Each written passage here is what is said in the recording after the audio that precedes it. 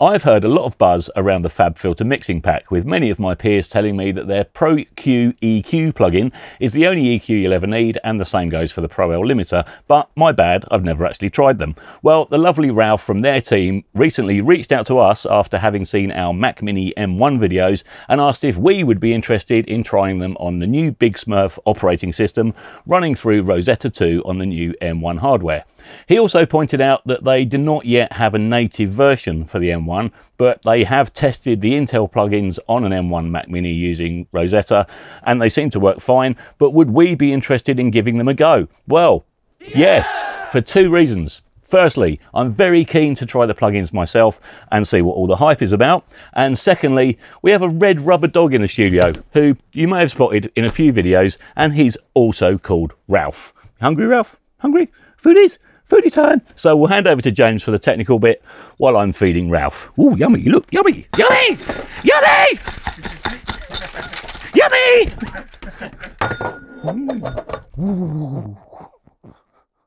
First off, full disclosure, FabFilter have very kindly sent us a license for their mixing bundle for the purposes of this video, but we are not sponsored by them in any way, and we are free to give our own opinion, which, as regular viewers would know by now, we always do. So let's dive straight into the mix. We've used all of the plugins that came with the mixing bundle, so I'll give a brief overview of those as we use them. Then we'll have a look at how well they're performing running through Rosetta 2 on Mac OS 11 Big Smurf. Over to Logic Pro and let's take a look at the drum kit to start with.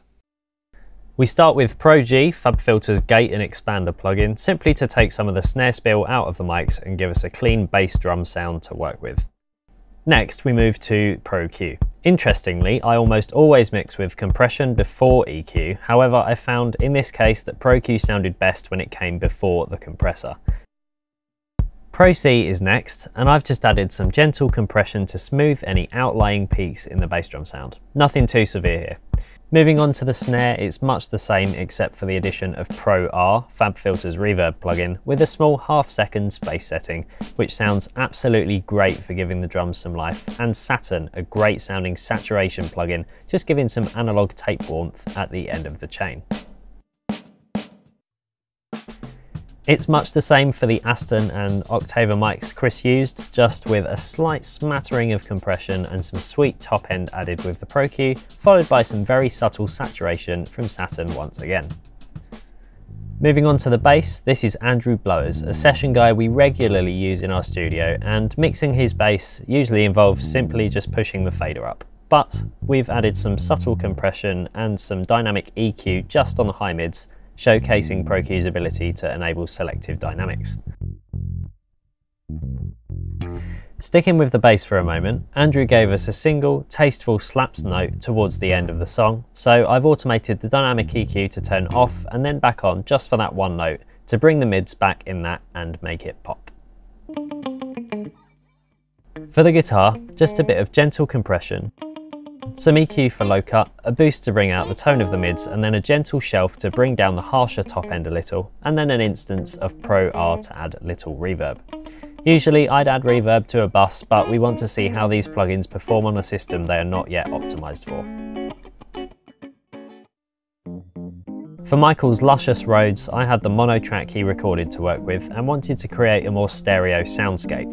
So I duplicated the channel, panned the original largely untreated track, just some gentle EQ, compression and a subtle chorus, to the right, and then added more of a spacey vibe using Timeless on the duplicate track and panned that slightly left. That way, the Rhodes and guitar sit nicely together, with the guitar pan slightly left and the main, drier Rhodes sound slightly right, but we have some subtle stereo information also coming in from the Rhodes in the left channel under the guitar. Again, Andy's vocals usually require a push up of the fader and you're done. But here I've added some compression, EQ and saturation and another instance of Pro R for a little reverb to give the vocals some space. In my mind, Oh, I never get tired. Similarly, with the backing vocals, Andy is one of the finest singers we've ever had the chance to work with, so I really wanted to make his backing vocals as prominent as the lead, as they weave around the lead part beautifully. I never get tired. We have a drier vocal here with ambience provided by the spring reverb used on the session. Talking about you, talking about you. Firstly, I'm really impressed with how these plugins sound having never used them before. Here, we're always fans of using the same plugins across an entire mix with a few different flavors here and there add 350 hertz to a guitar and cut a bit from the drums with the same EQ and it all just seems to glue together a bit better, just as it would on an analog console. You have many of the same EQ on each channel. They are also incredibly intuitive to use. I didn't have to refer to the manual once and I could quickly get the sounds I was after without much trouble. In terms of performance, bearing in mind that these are non-native plugins not yet optimized for Big Smurf or the M1, and we're running them on an entry-level Mac with only 8GB of RAM, flawless.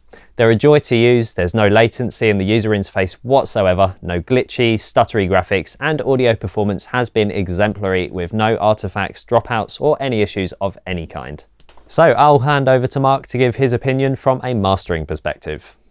Righty ho, so I've had a quick play around with the FabFilter plugins for half an hour and initial impressions, uh, performance aside, just sonically, I'm really, really impressed. The EQ's great, the compression's great, the saturation's all right. I'm not a huge fan of, of saturation style plugins when mastering, but it's it's good and it's I like the fact that you can choose between different tape settings, tube settings. We'll go into that in a minute. But my overall first impressions are that everyone's right, the hype is right, these are actually really good plugins and they're performing flawlessly on this Mac as well, which is really good. So let's have a quick little look at what I've done. Uh, first thing I normally always do is load up some meters at the end of the very end of the chain so as I can see what's going on and then just before the meter we have a limiter and I've loaded the Pro L2 which is the first time I've ever used this limiter and I'm very impressed. Now I could hear a difference between different oversampling option. So I've gone for 32 for two reasons. One is because it sounded great, and secondly is because it's giving the Mac a bit of pressure. It's kind of, um, I mean, it even says on the plugin there 32 times, very CPU intensive. And there was a noticeable difference in, in what's going on in the CPU meter having that at 32 than having it at zero or, or, or 16 or 8 or whatever. Uh, so that's that's why I've why I've done that. It sounded better and it's you know putting the Mac under some pressure, um, but still working really really well. This is actually a great sounding limiter, um, even if you push it higher than I would normally like to push a limiter. It, it sounds great. So that's at the end of the chain. Uh, let's just go through some of the other stuff as well and show you what I've done. So again, this isn't a mastering tutorial at all by any means whatsoever. I've loaded a lot more plugins than I'd ever typically use in a mastering session. Um, we're just trying to test out the FabFilter plugins, both in terms of performance and it's the first time I've used them, so in terms of sound quality as well. So let's have a little play through.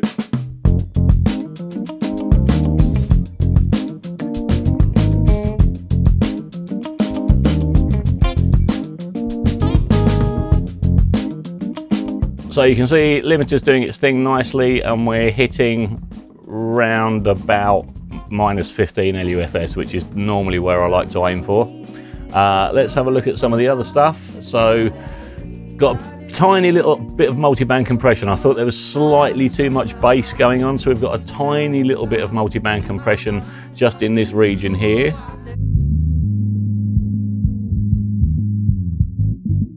So just kind of the woolly mushy kind of kind of low end there. Um, just taking a tiny bit of that out around sort of centered on a sort of 100 hertz with a fairly wide Q in the low end. That's that. Okay, Saturn. So this is the this is the saturation. Very, very, very subtle. Um, plugins doing saturation can work in very subtle, subtle ways. If you drive this too hard, it sounds horrible, as you'd expect from any saturation plugin, including our own one, which is free, by the way. Uh, but yeah, this is sounding pretty good. I've got it on the warm tape setting. Let's just bypass it and put it on again a few times so you can hear what it's doing.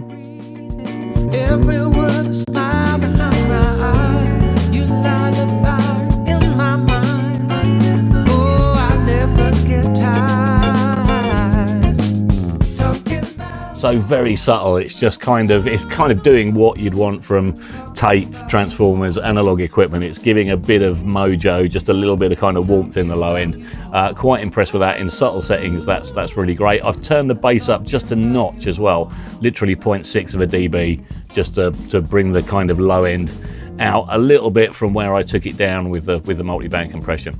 Okay, let's move on to the EQ. I'm just going to stop this for a second, and I have to agree with everyone I've spoken to who's used the FabFilter EQ have all said it's just the best sounding EQ ever, ever, ever. Um, and having used it only for half an hour this morning, uh, it's not going anywhere. Uh, I'm keeping this EQ, and I'll probably the, the the limiter and a few other plugins we've only got on trial. Um, I'm probably going to be buying the limiter as well because I'm really really impressed with the limiter. But I'm really really really impressed with this EQ. The fact that you can sometimes I want a dynamic EQ, sometimes I don't want a dynamic EQ. The fact that you can switch between bands on this, so you can have one band dynamic, one band not, is fantastic. And it sounds great. It can be kind of characterful like an analog EQ, um, or it can be super accurate and precise. You've got, you know, you can switch it between kind of um, linear phase or, or you, the, the, the options in there are fantastic and it sounds brilliant. So I've tweaked the low end again with this and let's just let's just solo the low end. The only thing I don't like about it is that to solo the low end we have to hold the little headphone guy down and when we let it go it's unsoloed again. So if that was as it was with the multi-band compressor if we just had a solo thing there and we can just take our hands off and leave it alone then I'd, I'd, I'd prefer that in terms of um, sort of user experience. Maybe there's a way you can change that. I need to, to look deeper into the plugin. Like I said, this is just a kind of initial impressions kind of thing. Uh, but this is great. So let's have a little listen to what I've done to the low end. So I felt it still needed a little bit more taking out at around 100. Let's just solo it. So you can hear there, it's just slightly pulling down the mush. If we move it down to a lower frequency and up to a higher frequency, we can really determine whether we're affecting the kind of fundamental frequency of the kick drum or the bass guitar, which is what you want a multi-band EQ to do, and it does it incredibly well. Just have a listen to this.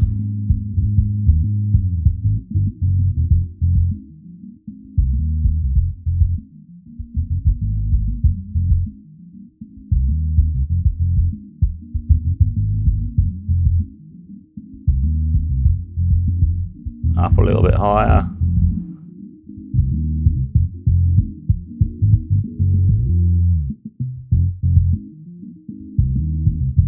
So there you can hear we've really got the bass coming through.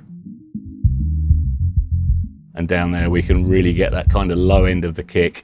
Um, and kind of in between is where I wanted it. I didn't want to take too much of the kick out or too much of the bass out. There was just something in the middle that was bugging me.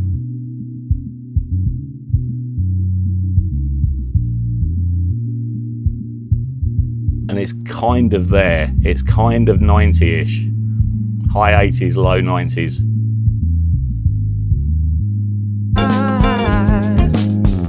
So great, that's that that's done a fab job of doing that. Um, in the mids, I've just taken out this little bit of 824, so around 1k-ish.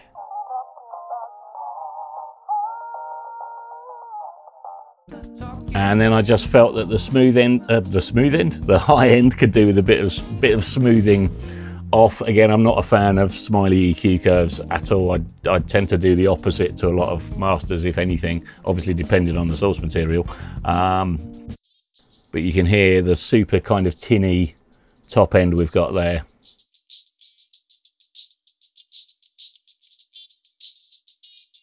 That's just bringing that down nicely. And then we're back to the limiter. And that's it.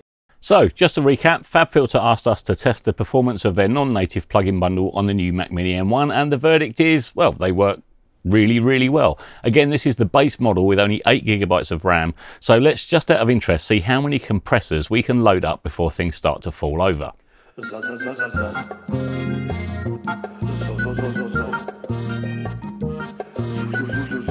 1,125 instances of a non-native plugin, 75 channels including the output, each running 15 instances, and the GUI is snappy as anything. That's impressive. GUI, you said GUI. Performance in unsupported DAWs would of course be very different, so if you're thinking of upgrading to the new M1, then our advice as always would be to wait until your essential tools have versions that are approved for use on the M1 by the manufacturer, but I'd happily set to work today with the FabFilter bundle running on Logic on the new machines, and they sound great too, really great. What did you think? Yeah, um, I loved them. Uh, I thought they sounded great. They're dead easy to use and they were smooth as silk when I was using them. Me too. Yeah. So uh, a huge thank you to Ralph for contacting us for this video. We'll be interested to see how the native versions of these perform when they become available. And if you haven't tried FabFilter's plugins, then head over to their website and make use of their 30-day trial. We think you'll be impressed. You got to buy the L2 plugin now. Yeah, I know this YouTube channel's costing us a fortune. Yep but we love it, so that's good. Thanks for watching, everyone. Please hit the subscribe button, ding the ding dong, hit the like button, do all that lovely stuff, and you'll see us in the next video. Bye.